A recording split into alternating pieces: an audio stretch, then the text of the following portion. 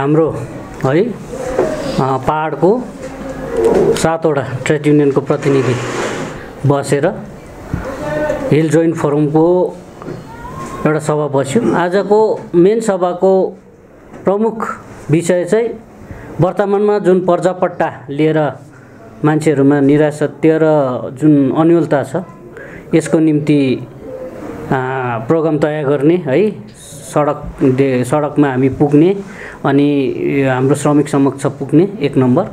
दोस्रो नम्बर चाहिँ छ यो जुन मिनिमम वेज छ है दुई हजार तेह्र चौधदेखिको अहिलेसम्म जुन हामीले आन्दोलन गरेर आयौँ तर सरकारले अहिलेसम्म यो उयो गर्न सकेको छैन इम्प्लिमेन्ट गर्न सकेको छैन। यो विषयलाई आज गम्भीरता साथ चर्चा गऱ्यौँ र भविष्यमा कार्यक्रम गर्ने हामीले तय गरेका छौँ तर अहिले हामी कार्यक्रमको डिक्लेरेसन आजैको मिटिङलाई हामी गरिहालेका छैनौँ। र आगामी उन्नाइस तारिकको दिन हामी तर बगानमै एउटा हामीले टार्गेट गरेको छौँ रम्बुक सिडर टी एस्टेट है।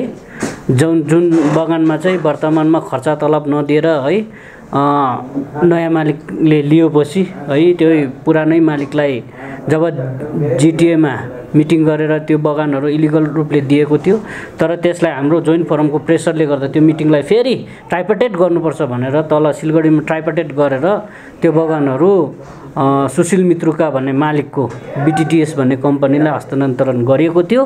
तर उक्त बगानहरूमा अझै पनि झमेला आइलागेको छ है।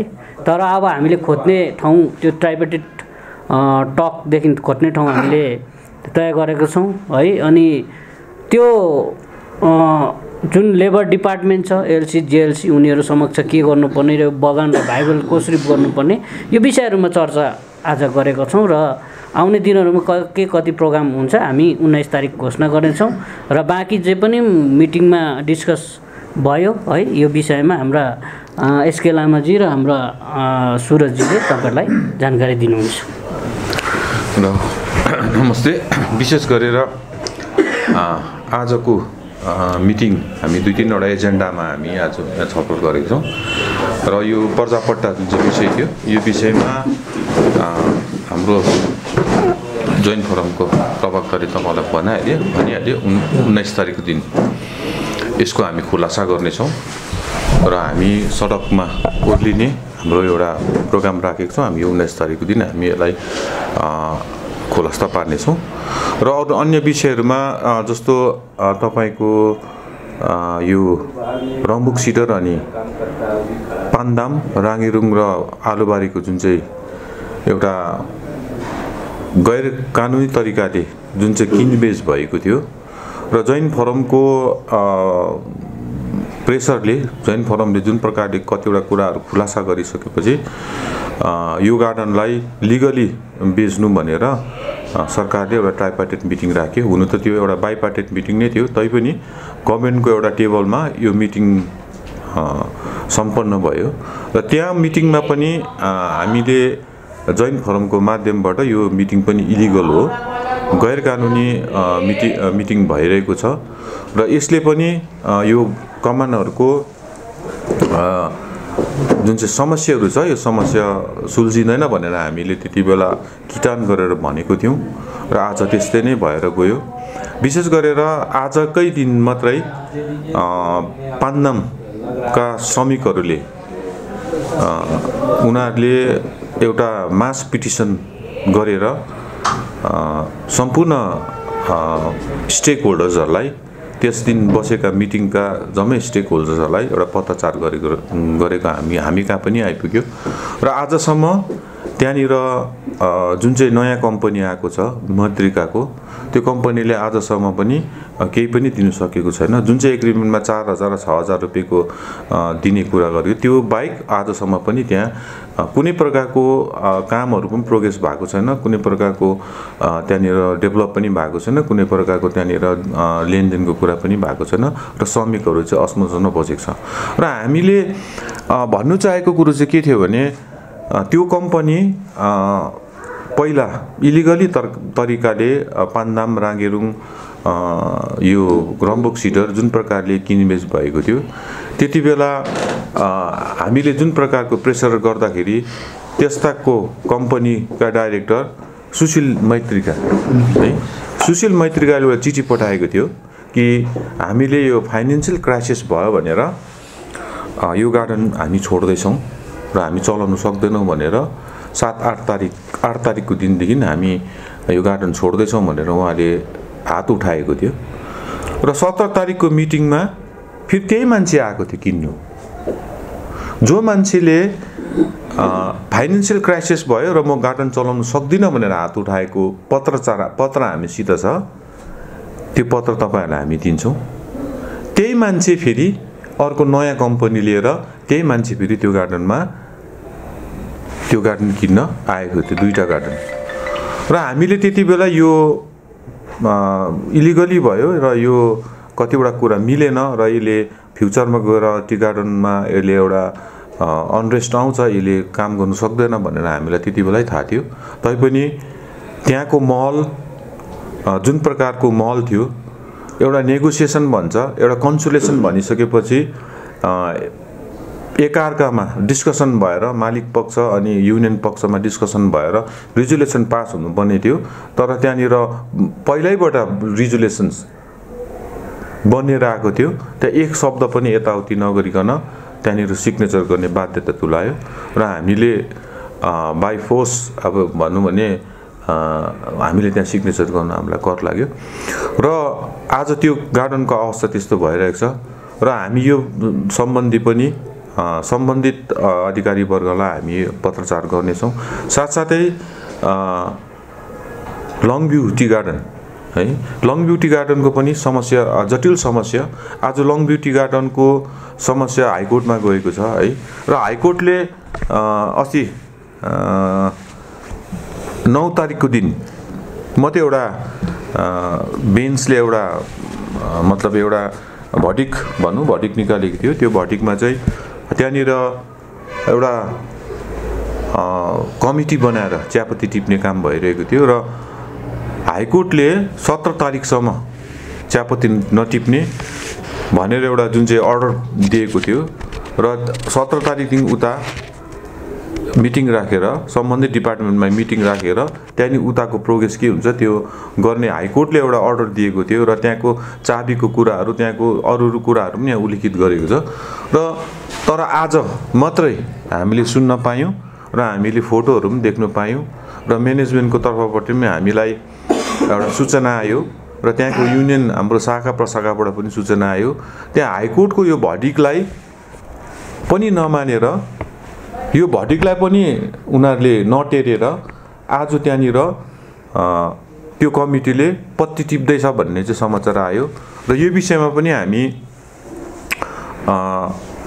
सरकारलाई अथवा डिएमलाई हामी अवगत गराउनु गराउँदैछौँ कि हाइकोर्टलाई पनि नटेर्ने कमिटी चाहिँ त्यहाँ कस्तो प्रकारको बनिएको छ र जुन प्रकारले त्यहाँनिर लङ भ्यूमा अनरेस्ट भइरहेको छ र त्यहाँको श्रमिकहरू अजमजसमा छ र त्यहाँको म्यानेजमेन्ट अज अजमजसमा छ सबै स्टेक होल्डरहरू त्यहाँ अजमजसमा भएको कारणले गर्दा यसको यो आज जुन चाहिँ पत्ती टिप्ने काम भएको छ यो नगर्नुपर्ने थियो र उहाँहरूले गरेको छ यसमा हामी घोर भाषणा गर्दै हामी यसको पनि सम्बन्धित अधिकारी वर्गलाई हामी यसको पनि हस्तक्षेप गर्ने हामी माग राख्दै हामी पत्रचार गर्दैछौँ र विशेष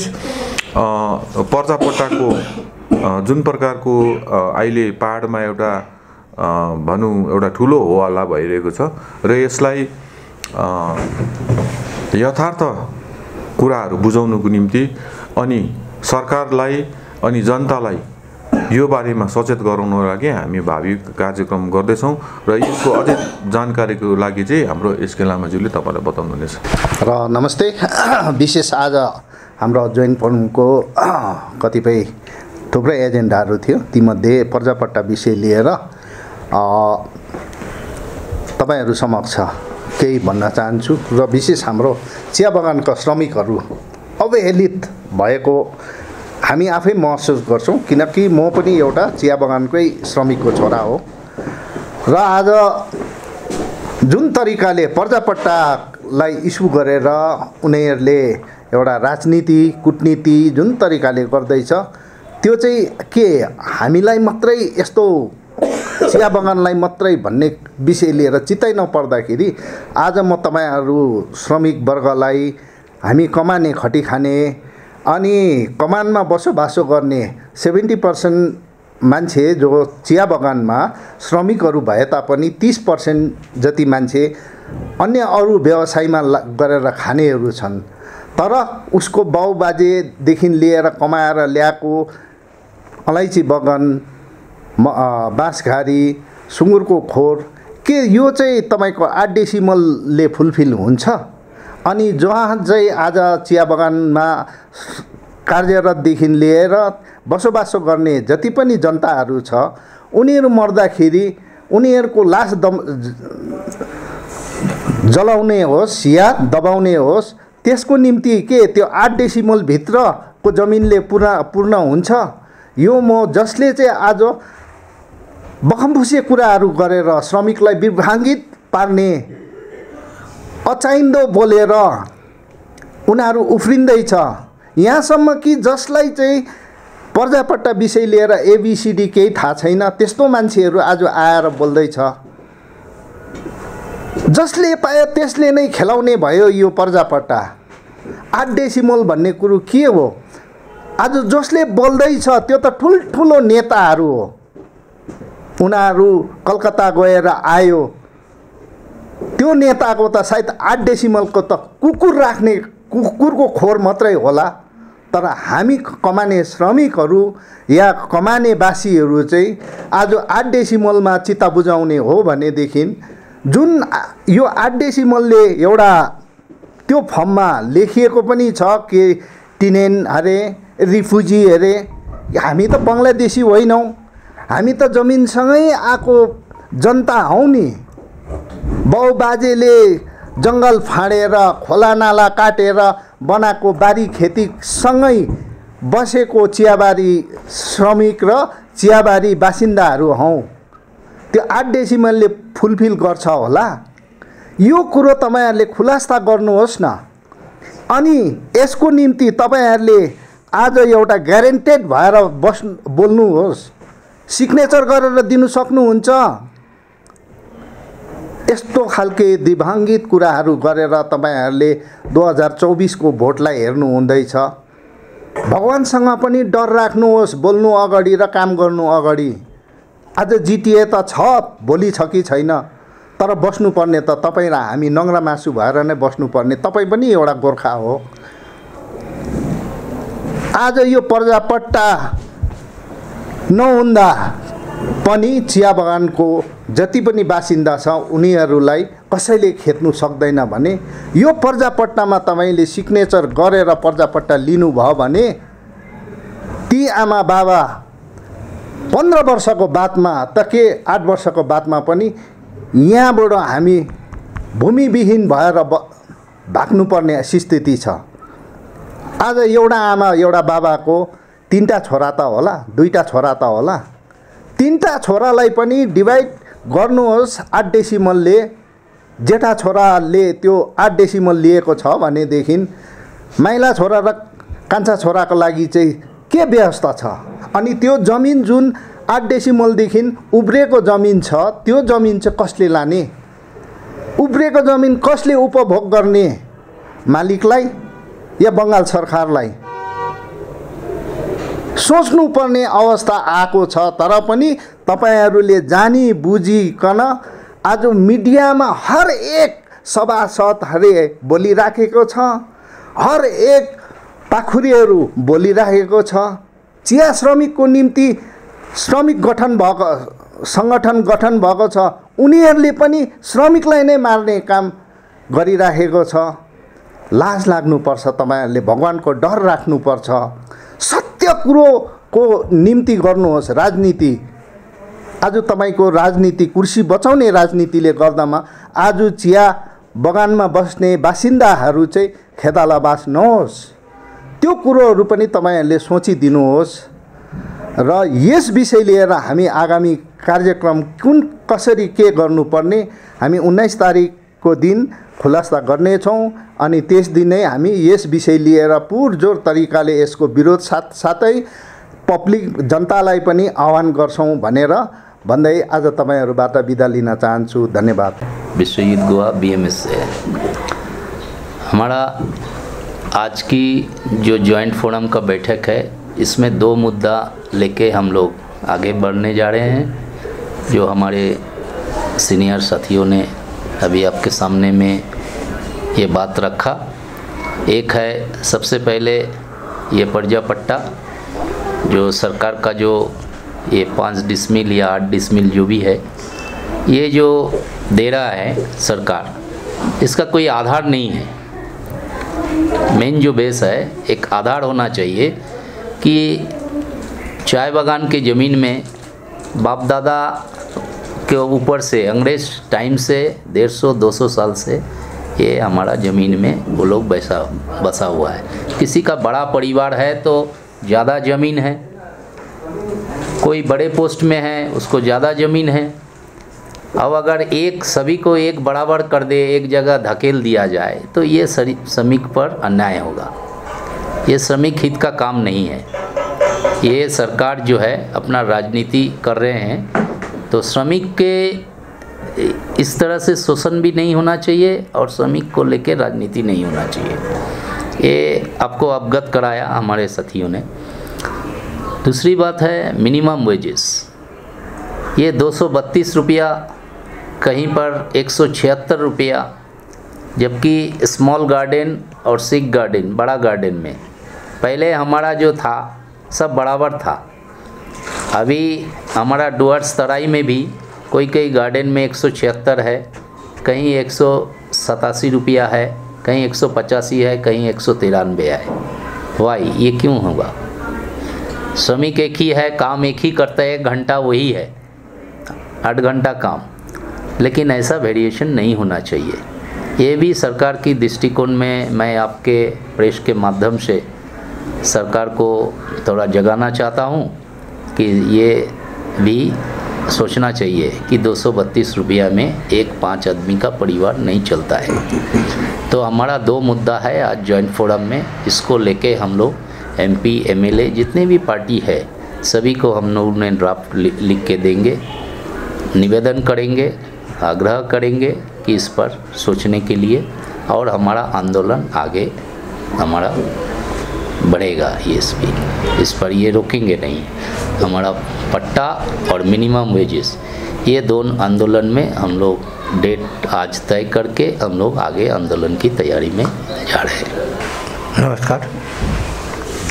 म चाहिँ एनडिपिडब्ल्यूबाट कङ्ग्रेसको र आज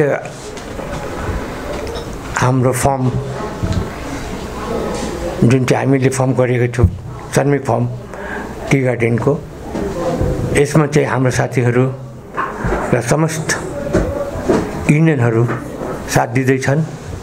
र हाम्रो आग्रह आग्रह छ कि चिफ मिनिस्टरले पनि अस्ति आएर उहाँले पर्जापट्टा दिनुपर्छ भन्नु भन्नु दिनु पनि भई। तर यहाँ दार्जिलिङमा हिलमा पर्जापट्टाको लागि चाहिँ कुरा चाहिँ ट्विस्ट हुँदैछ। यसर्थ कानुन त सबको लागि हो। हाम्रो पाहाडमा जो टी गार्डन्समा छ त्यो पर्यापट्टा चाहिँ दिनै पर्छ एकर्डिङ टु ल र जुन चाहिँ सरकार सेन्ट्रलले सेन्ट्रल गभर्मेन्टले पनि हिजो अस्ति श्रमिकहरूको लागि टी गार्डन्सहरूको लागि नयाँ प्रस्ताव दिएको छ र जुन चाहिँ आसाममा दिएको छ त आसाम र के बेङ्गल अलग हो। आसाममा जुन चाहिँ फेसिलिटिज श्रमिकहरूलाई टी गार्डन्समा दिएको छ त्यो फेसिलिटिज यहाँ चाहिँ किन दिएको दार्जिलिङमा किन दिएको हिल्समा किन दिएको बेङ्गलमा किन नदिएको? यसको निम्ति चाहिँ हाम्रो आदरणीय चिफ मिनिस्टर ममता ब्यानर्जीलाई हाम्रो अनुरोध छ कि उहाँले इक्वलिजम गरून् र जुन चाहिँ प्रजा पट्टा छ हेल्थमा पनि दिनु पर्छ। उहाँ आले आएर यसलाई संविधान गरून्। अब अर्को चाहिँ जुन इस्यु छ त्यसको इस्युको निम्ति हाम्रो समस्त युनियनले जुन चाहिँ राखिएको छन् र यस- यसको लागि हामी सङ्घर्ष गर्नुपर्छ र डेली वेजेस डेली वेजेसको लागि त हेर्नुहोस् मद्रासमा कति पाउँदैछ? मद्रास चाहिँ के आउट अफ के भन्छ इन्डिया छ? मद्रासमा तिन सौ कति रुपियाँ छ? र आसाममा तिन सौ भन्दा के भन्छ तिन सौ पचासभन्दा बेसी छ। एकदम लो लो ग्रेड र हिलमा चाहिँ ठिकै र तराईमा चाहिँ किन कम्ती बङ्गालमा किन कम्ती? यसको निम्ति चाहिँ हाम्रो स्टेट गभर्मेन्टले चाहिँ किन विचार गर्दैन? यसर्थ हाम्रो अनुरोध छ कि सरकारले हाम्रो माथि चाहिँ अन्याय नगरून् र श्रमिकहरूलाई साथ दिउन्। श्रमिकहरूको समस्यालाई हल गरून् भन्दै यति म छोटो वक्तव्य यहाँ शेष गर्दछु। जय हिन्द वन्दे मातरम्।